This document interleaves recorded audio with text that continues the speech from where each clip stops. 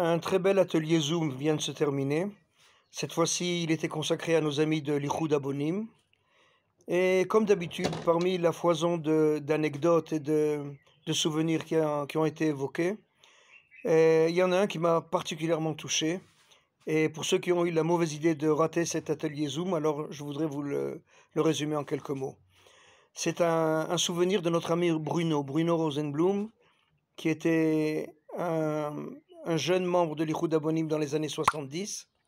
Et il nous raconte que un soir, ils sont sortis faire euh, un collage d'affiches pour les juifs du RSS. Et comme tous les collages de ce type-là, en général, c'est une activité qui se faisait le soir, la nuit même. Et très souvent, une ronde de police nocturne comme ça, elle venait euh, interrompre euh, cette activité. Et très souvent, ce genre de, de collage d'affiches se terminait donc au commissariat.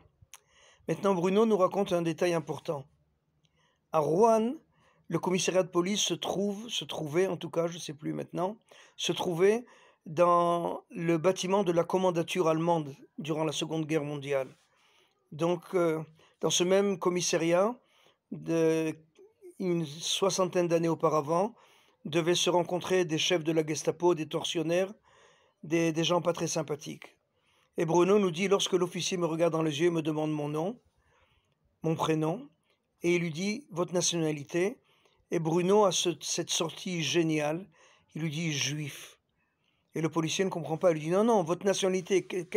Et, Bruno il lui répète juif. Alors peut-être maintenant je fais un, un Pérouche Rachi et j'interprète de manière un peu trop libre cette anecdote. Enfin, c'est comme ça en tout cas que je la ressens. Quand Bruno il dit à ce policier je suis juif, ça veut dire de, de déclarer être juif dans ce bâtiment-là, ça prend une résonance tout à fait historique. Et monsieur le officier de police, il y a 40 ans de ça, il y a 50 ans de ça, quand quelqu'un à votre place, il demandait à quelqu'un d'autre quelle est sa nationalité, c'est bien souvent parce qu'il traquait du juif. Et aujourd'hui, nous les juifs, on est toujours là. Ça, c'est une première interprétation.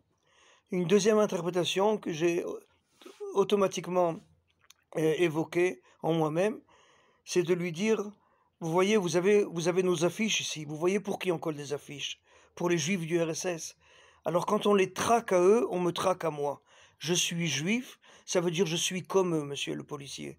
Et si aujourd'hui ils sont traqués en URSS, alors sachez qu'en me poursuivant, sachez qu'en me menant aujourd'hui dans un poste de police, alors vous vous alignez dans cette même ligne de conduite odieuse que les soviétiques vis à -vis des gens de mon peuple.